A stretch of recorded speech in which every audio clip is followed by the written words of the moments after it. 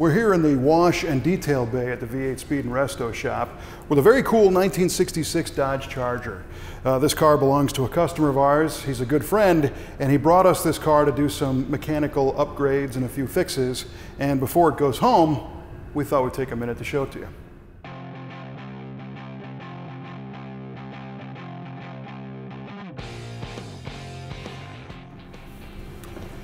One of the cool things about these 60s and 70s Dodge products is the underhood is the same color as the outside of the car. So the engine looks like it's uh, a little more finished off. And in this case, uh, it's got the factory 383 under the hood. Originally, these made around 330 horsepower. This one, although it looks bone stock, has a few upgrades now. Underneath that big dual snorkel air cleaner is a Demon carburetor. And the reason why it came here is because the customer was driving the car and it started to make all kinds of valve train clatter.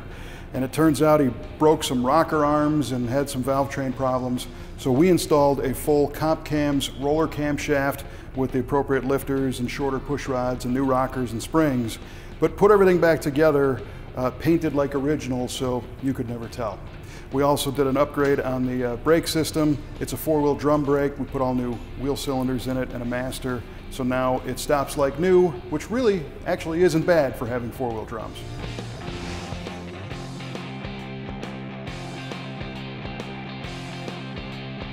One of the coolest features on this Charger is the interior. It's got four place bucket seats. So Dodge actually talked about folding the back ones down to be able to sleep in this car if you needed to, but I think it's too much fun to drive and sleep. Uh, as we look forward, of course, these seats are covered in plastic and we've got floor mats down because we just cleaned it to send it home. But another neat feature is the dashboard. It's a very space age looking design and the gauges are electroluminescent. And what that means is when you pull the headlight switch and the front headlights rotate, these gauges light up a cool blue, almost a turquoise from the backside. And it's a, a very high style car.